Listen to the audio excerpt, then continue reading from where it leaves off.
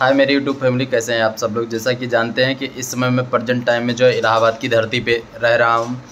तो काफ़ी लोग मेरे मित्रगढ़ जो आजमगढ़ से जुड़े हुए हैं, जो इलाहाबाद आना चाहते थे, आना चाहते हैं और मुझसे बार बार पूछ रहे हैं कि भैया यहाँ का रूम रेंट कैसे है और ख़र्चा कितना बैठ जाता है और बढ़िया कोचिंग कौन सी है? ये सब काफ़ी क्वेश्चन आ रहा था तो मुझे लगा क्यों ना एक इस टॉपिक पे वीडियो ही बना दिया जाए और अपना ही कुछ अनुभव शेयर करके आपको बता दिया जाए, क्योंकि मैं सन दो हज़ार चौदह से इलाहाबाद की पावन धरती पे था। और इलाहाबाद की ये खासियत है कि अगर आप इलाहाबाद आते हैं तो आपको इलाहाबाद की धरती जो आपको खाली हाथ यहाँ से नहीं भेजे, भेजेगा। और कहीं भी आप अगर चले जाइएगा, अगर मन तन से अपने सौ परसेंट दे रहे हैं पढ़ाई के क्षेत्र में तो मुझे नहीं लगता कि आपको सफलता नहीं मिलेगी।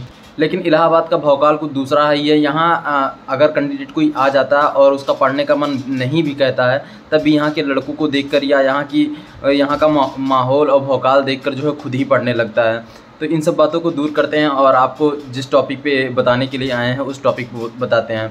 तो जैसा कि अगर आप इलाहाबाद में आ रहे हैं, पहली बात पहली बात तो आप इलाहाबाद में जो है इंटर से आइए। अगर हाँ इंटर या ग्रेजुएशन के बाद आइए, इसे इंटर से आ जाइएगा तो ज़्यादा ठीक है। अगर आप प्राइवेट कॉलेज से जो है B A B S C या और कोर्स कर रहे हैं, पहली बात। और अगर आप यूनिवर्सिटी से करना चाहते हैं तो वो भी सही है। आप तब यूनिवर्सिटी से ही आके बी कीजिए। और मैं, मुझे लगता है कि बी नहीं, जैसे ग्रेजुएशन कीजिए। और अगर आप ग्रेजुएशन मुझे जहाँ तक लगता है कि अगर आपकी इंटर पास करके आए होंगे तो आपका डेट ऑफ़ बर्थ काफ़ी कम होगा अभी, और जो आना चाहते हैं जुलाई के बैच में। तो आप ज़रूर आइए, और यहाँ जो है, आप कॉलेज अटेंड करिए। मैं तो कहूँगा कि आप इलाहाबाद यूनिवर्सिटी का फॉर्म डालिए, और इलाहाबाद में जिस भी कॉलेज को आप, अगर आप के मन मुताबिक ट्रेड आपको यहाँ पे मिल रहा है तो आप ज़रूर यहाँ को प्रेफरेंस दीजिए इलाहाबाद यूनिवर्सिटी को। यहाँ अगर आप इलाहाबाद यूनिवर्सिटी में एडमिशन ले लेंगे तो कुछ कॉलेज से जाते रहेंगे, कुछ कंपटीशन का भी माहौल देखते रहेंगे तो आपके ऊपर ज़्यादा वर्डन नहीं होगा। और मेन बात ये भी है कि अगर B A B S C या और कोर्स कर भी लिया जाता है तो फाइनल लड़का जो उसी एज पे आ जाता है कि कंपटीशन क्योंकि किसी भी, अगर आपको सरकारी नौकरी लेना है तो आपको कंपटीशन के दौर से गुजरना पड़ेगा, ऐसा कुछ है। लेकिन आपको बोरियत ना फील हो, इसलिए मैं आपको बता रहा था कि आप इलाहाबाद यूनिवर्सिटी में एडमिशन करा सकते हैं। और अगर आप एडमिशन नहीं कराना चाहते हैं या इंटर बाद ही आके जो है तैयारी करना चाहते हैं एस एस की हो जाती है, बहुत लोग आते हैं पी सी एस का हो जाता है आई एस का हो जाता है तो इन सब के लिए अगर आप तैयारी करने के लिए आ रहे हैं तो अगर आप देखें लोकेशन के हिसाब से यहाँ का भाड़ा का रेंट है, जैसे यहाँ जो है लड़के कहाँ कहाँ रहते हैं, मैं आपको बताऊँ तो तिलियरगंज में लड़के रहते हैं, सलोरी में लड़के रहते हैं, इसके बाद बघाड़ा में लड़के रहते हैं, ये तीन इलाका जो है वो इलाहाबाद इलाहाबाद में जो है स्टूडेंटों का गढ़ कहा जाता है। तो इलाहाबाद से कम से कम दस किलोमीटर के इर्द गिर्द में शहर से जुड़ा हुआ अधिकतर हर स्थानों पर लड़के रहते हैं। लेकिन ये जो तीन स्थान मैंने बताया, उस पर कुछ ज़्यादा ही लड़के रहते हैं। यहाँ मतलब काफ़ी ज़्यादा लड़के ये लड़कों का गढ़ कहा जाता है। सलोरी तिलकगंज और बघाड़ा अगर मैं यहाँ के किराए की बात करूँ तो यहाँ का किराया अगर जहाँ तक मुझे लगता है तीनों स्थान पे और जहाँ तक मैंने एनालाइज़ किया क्योंकि काफ़ी दिनों का रहने का एक्सपीरियंस होने की वजह से मुझे इन सब चीज़ के बारे में काफ़ी जानकारी है और मैंने अपना चैनल इसी के लिए भी क्रिएट भी किया था। तो अगर आप इन तीनों स्थानों पे जैसे रूम के लिए भाड़ा लेना चाहते हैं या मतलब रूम लेना चाहते हैं तो यहाँ आपका सिंगल जो है, अगर सिंगल जो ना रूम देखा जाए तो 2000 प्लस हो जाएगा। कहीं भी आप लेंगे तो 2000 प्लस ही आपको रूम के लिए सिंगल मिलेगा। और अगर आप दो लोग रहते हैं तो दो लोग के लिए आपका, आपके कमरे के हिसाब से आपके कितना बड़ा आपका कमरा उसके हिसाब से डिपेंड करेगा। अगर आपका कमरा थोड़ा थोड़ा भी बहुत बड़ा होता है एक लोगों की अपेक्षा तो आपका तुरंत किराया बढ़ जाएगा। किराया आपका दो लोगों के लिए लगभग देखा जाए तो जहाँ तक मुझे एक टू एक मैक्सिमम जो है, पैंतीस में आपको दो लोगों के लिए अच्छा रूम मिल जाएगा, जिसमें आप दो बेडशीट आराम से बिछा सकते हैं। और खाने वाने के लिए पर्याप्त जगह रहेगा टेबल मेज के लिए भी आपके लिए पर्याप्त जगह रहेगा, अगर आप पैंतीस में इन तीनों स्थानों पर रूम लेकर रहते हैं।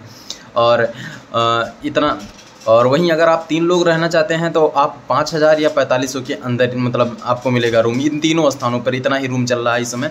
और सिंगल वाला आप मैंने आपको बताया। और कुछ कुछ स्थानों पर जो ये दोनों लोकेशन तीनों लोकेशन मैं बता रहा हूँ कहीं कहीं के बिजली का बिल ऐड रहता है और कहीं कहीं पे बिजली का बिल ऐड नहीं रहता है। तो ऐसा कुछ है।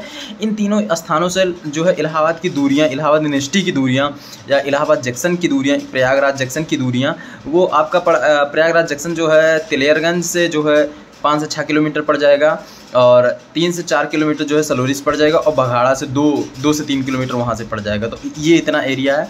बघाड़ा थोड़ा पास में और इलाहाबाद यूनिवर्सिटी से इन तीनों स्थानों की बात की दिया जाए तो पाँच से छः किलोमीटर जो है सलोरी से पड़ जाएगा वहाँ से तेलियागंज से पड़ जाएगा, दो से तीन किलोमीटर जो है सलोरी से पड़ जाएगा और एक किलोमीटर जो है बघाड़ा से पड़ जाएगा इन तीनों स्थानों पर।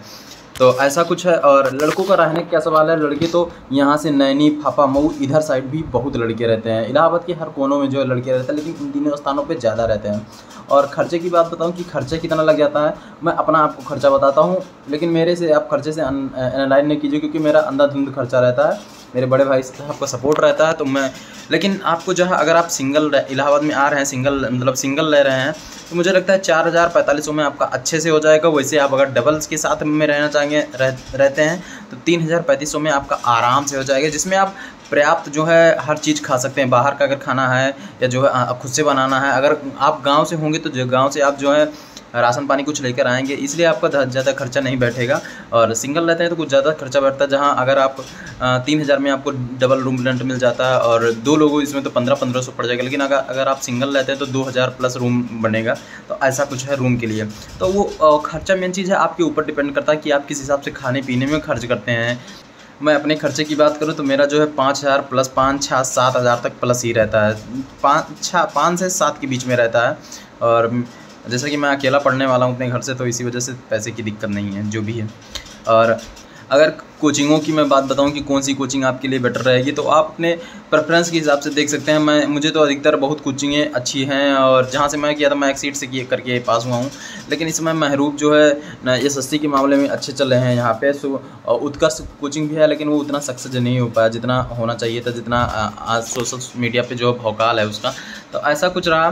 और आपको ये इन्फॉर्मेशन कैसी लगी, आप ज़रूर कमेंट सेक्शन में बताइए। तो जय जय हिंद, जय इंटर जय प्रयागराज, जय संगमगिरी। जय हिंद।